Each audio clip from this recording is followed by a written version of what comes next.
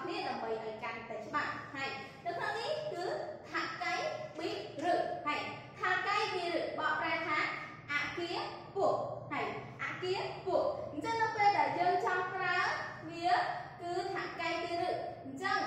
EK យោស៊ីគឺយើងអត់បំបែកវាឬក៏ឬមួយក៏ធ្វើឲ្យវាคล้ายទៅជាទម្រង់ផ្សេងមួយណាឯងគឺយើងដាក់វាមកជាទម្រង់ធម្ម ម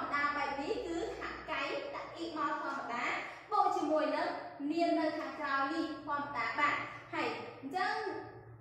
EK យោស៊ីអញ្ចឹងអ្នកទាំងអស់គ្នាប្រហែលជាស្គាល់ហើយ EK យោស៊ីគឺជាគុណនាមណាដែលមានអក្សរ E នៅពីខាងក្រោយហើយហើយតើអញ្ចឹងយើងមើលបន្តទៅទៀតគឺ Oishi Okashi ហើយ Oishi Okashi គឺនំដែលឆ្ងាញ់ហើយបន្តទៅទៀតអតារាឈីប៊ីរឹហើយអតារាឈីប៊ីរឹគឺអគារថ្មី ហើយអញ្ចឹងរបៀបនៃការបកនៅក្នុងភាសាជប៉ុនអ្នកទាំងអស់គ្នាដឹងគ្រប់គ្នាហើយមែនណាថាគឺបកពីខាងក្រោយទៅមុខហើយអញ្ចឹងអតារាឈីប៊ីរឹហើយអតារាឈីបកប្រែថាថ្មីប៊ីរឹគឺបកប្រែថាអគារដល់ពេលយើងបកវាមកគឺ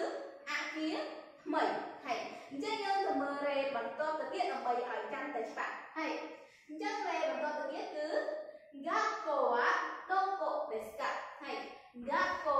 doko desu ka អញ្ចឹងគឺ Gakko បកប្រែថាសាលារៀនហើយ Doko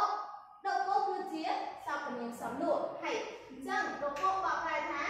ទីណាឬមួយក៏នៅឯណាហើយអញ្ចឹងយើងបកជាប្រយោគរបស់យើងគឺតើសាលារៀននៅឯណាហើយអញ្ចឹងចម្លើយរបៀបនៃការឆ្លើយគឺអសកុដេសហើយអសកុដេសអញ្ចឹងអសកុយើងបានរៀនមករួចហើយនៅក្នុងមេរៀនទី3 នៅក្នុងចំណុចមុនមុនហើយអញ្ចឹងបកប្រែថានៅទីឯនោះនៅទីឯនោះគឺចង់មានន័យថារបស់នៅគឺនៅឆ្ងាយហើយគឺវាមានទីតាំងឆ្ងាយពីយើងហើយតោះអញ្ចឹងយើងទៅមើលតទៅទៀតគឺថាកៃវិរុដេស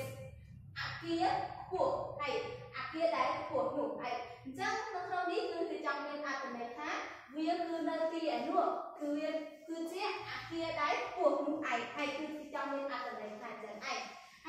ចឹងឯងហើយអញ្ចឹងនៅក្នុងចំណុចទី5គឺចាប់តែប៉ុណ្ណឹងបើសិនជាអ្នកទាំងអស់គ្នាមានសំណួរមួយមានចម្ងល់អ្នកទាំងអស់គ្នាអាច comment សួរនៅខាងក្រៅបានអារីរ៉ូសៃម៉ាស់